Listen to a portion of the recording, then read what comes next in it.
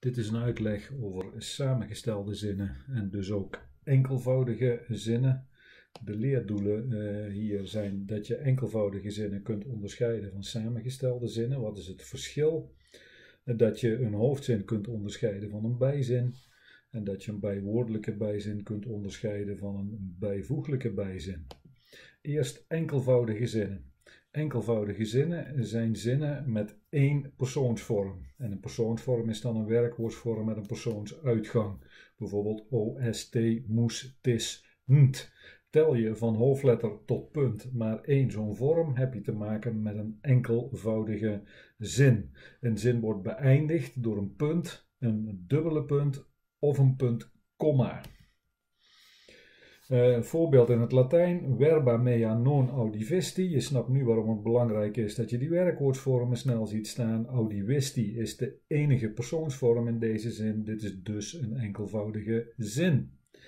Nou, samengestelde zinnen, dat laat zich dan raden. Dat zijn dan uh, zinnen met meer dan één persoonsvorm. Voorbeeld eravisti quia verba mea non audivisti. Je hebt je vergist, eravisti Quia omdat je mijn woorden verba mea non niet audivisti niet gehoord hebt.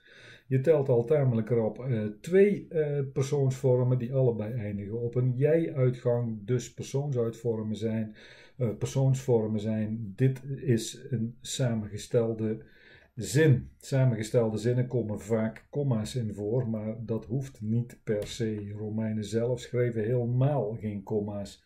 Dan komen die samengestelde zinnen, die komen in soorten, twee soorten, die kunnen bestaan uit meerdere hoofdzinnen of hoofd- en bijzinnen. dus je hebt altijd minstens één hoofdzin. En dan kan een samengestelde zin bestaan uit één hoofdzin en meerdere bijzinnen, of meerdere hoofdzinnen, en daar kunnen dan ook nog bijzinnen uh, bij zitten. Hoofdzinnen, dat zijn zinnen waar in de Nederlandse vertaling het onderwerp per se naast de persoonsvorm moet staan. Dus je kunt hier het beste je Nederlandse taalgevoel laten uh, spreken, de Latijnse zin vertalen en dan kijken of het een hoofd- of een bijzin is. In een Nederlandse vertaling moet het onderwerp, in dit geval je hebt, moet per se naast, die moeten naast elkaar staan.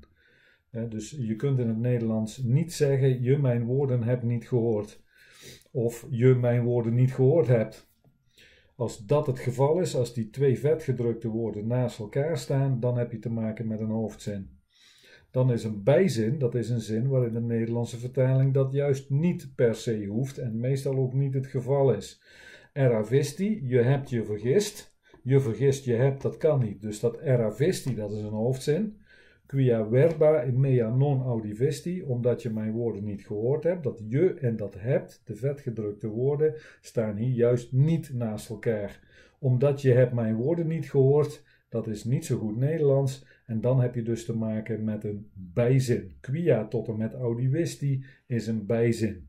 Dus samengevat, die hele zin, dat is een samengestelde zin. Die bestaat uit een hoofdzin, eravisti, en een bijzin quia tot en met odivisti.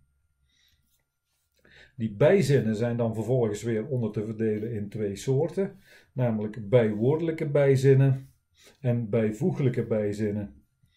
Bijwoordelijke bijzinnen die worden altijd ingeleid door een voegwoord en wel een onderschikkend voegwoord. We hebben, er al, we hebben quia al een paar keer gezien. Onderschikkend voegwoord, dat is omdat. Je kunt ook andersom redeneren. Omdat is een onderschikkend voegwoord. Omdat, omdat altijd een bijzin inleidt. We hebben net gezien omdat dat, dat, dat omdat tot en met hebt, dat is een bijzin. Omdat je en hebt niet naast elkaar staan. Dus bijzinnen, bijwoordelijke bijzinnen, dat zijn bijzinnen die worden ingeleid door een voegwoord. En dat voegwoord dat is dan onderschikkend. Let op, er zijn ook nevenschikkende voegwoorden, dus niet elk voegwoord leidt een bijzin in.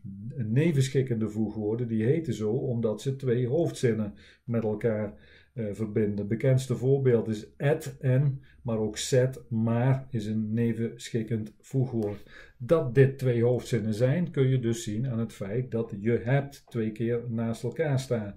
Een onderwerp en de persoonsvorm moeten in het Nederlands per se naast elkaar staan.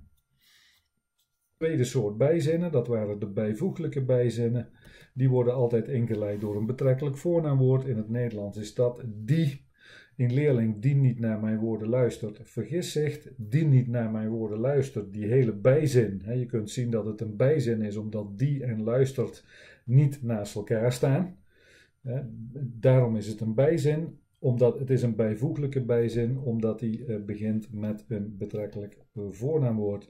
Een bijvoeglijke bijzin kun je vergelijken met een bijvoeglijk naamwoord, daarom heet het ding zo.